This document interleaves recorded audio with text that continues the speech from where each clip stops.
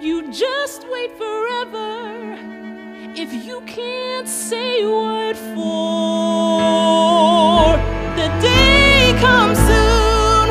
I'll pack up the nothing I own and I'll live in my house and I'll make it okay.